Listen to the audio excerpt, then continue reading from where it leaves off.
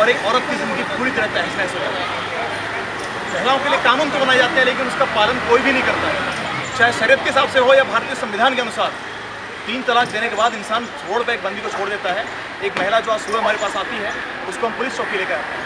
वो महिला तीन दिन से भूखी है, भूख और ताल पर है, और कोई भी उसका सुनने को तैयार नहीं है पर्याप्त। तो हम एक टीम के साथ आए हैं, मैडम लीला रंगा आई हैं, जो एडवोकेट हैं सुप्रीम कोर्ट की, साथ में हमारे ओबीसी सेल समाज के कांग्रेस के अध्यक्ष आए हैं और मैं कहना चाहता हूँ, इस भारत सरकार को और पूरी भारतीय जनजाति को प्लीज़ महिलाओं की जितनी बातें करते हैं पब्लिसिटी स्टंट करते हैं, महिलाओं की इज़्ज़त का वाकई ख्याल करना चाहिए और पूरे भारत सरकार से मैं गुजारिश करना चाहता हूँ कि महिलाओं के लिए कुछ ठोस कदम उठाए जाएँ ताकि तीन तलाक के बाद महिला रोड पर ना रहे।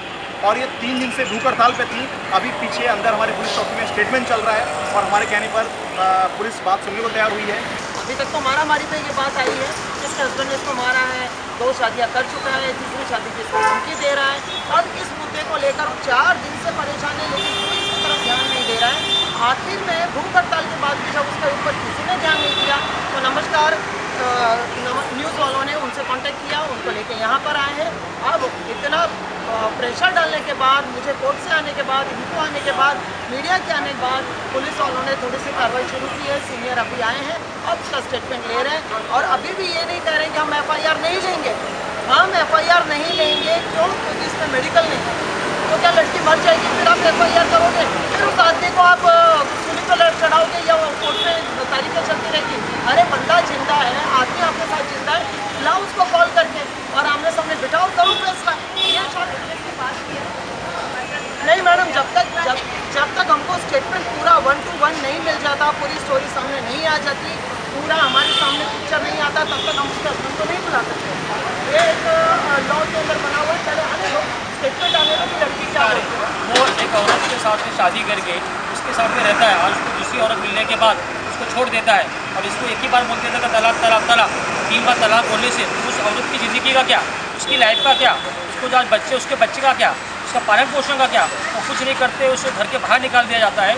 और तीन दिन रोड के ऊपर बैठती है पोषण करती भूखे रहती है उसकी कुछ सुनवाई की जाए उसकी सुनवाई की लेकिन लोकल पॉलिटिशियन बाकी जो अदर पार्टी के जो लोग हैं कांग्रेस के छोड़ के वो सब उसको उसको पति को समर्थन देते हैं। इसलिए वो ऐसा करता है। तो ऐसे जो समर्थन जो लोग देते हैं उनके ऊपर भी कानूनी कार्रवाई की जाए।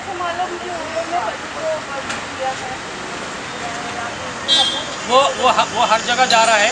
उसका पति और सभी लोगों से उसको धमकी दिलाया जा रहा है। कि तू पुलिस स्टेशन जाने का नहीं अगर तू पुलिस स्टेशन गई तो हम लोग तुझे छोड़ेंगे नहीं, तुझे हम लोग जान से मार देंगे, तेरा नाम बदनाम कर देंगे तो कहीं का नहीं रखेंगे। ऐसा बोल बोल के उसको धमका जा रहा है और मेरी बहुत पहचान है पोलिटिशियन में, मेरे हर जगह पुलिस का पहचान है, ऐसा बोल बोल के उसको डराया जा रहा है। हम लोग सच्चाई के साथ में तो औरत के साथ में अन्याय हुआ है तो उसको हम इंसाफ दिला के रहेंगे, चाहे हमको उसको police station A C P D C P जहाँ भी जाना पड़े, हम जाएँगे और उसको न्याय दिला के रहेंगे।